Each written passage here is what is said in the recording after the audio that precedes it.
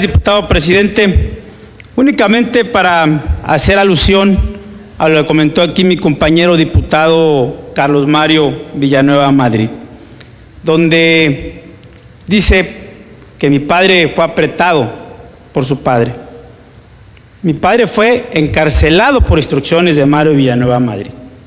Pero de ninguna manera hablo aquí con rencor, ni es un tema familiar personal. Mi padre recuperó su libertad casi un año después por un amparo por la vía federal, no por un indulto. Y mi padre hoy vive al día, pero con la mayor riqueza que puede tener un ser humano, que es la libertad. Y el poder caminar tranquilamente sin deberle nada a nadie. No es un tema de ninguna manera de rencores.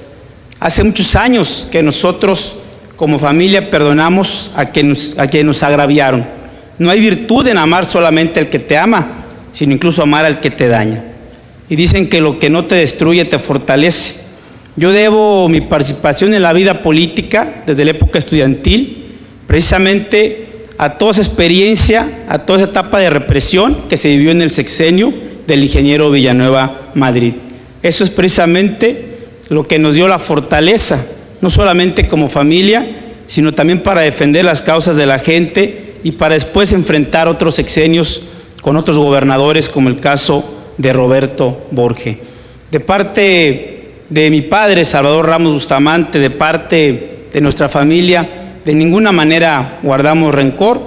Yo he podido tener cierta comunicación, pero no afectar con esto, con el ingeniero Villanueva. Tengo familiares de él que son amigos míos, eh, y por supuesto que deseamos que recupere su libertad, pero acreditando precisamente las pruebas que aquí se han presentado, no mediante un indulto, que como ya mencioné, considero que debe ser para otras personas que están condenadas por su pobreza, por su marginación, por no haber tenido una defensa adecuada, por ser personas del sector indígena.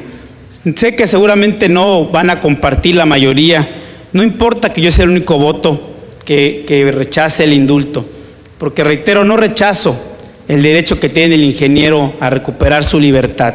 Deseo y espero que pronto recupere su libertad, pero demostrando su inocencia. Lo que se ve no se juzga.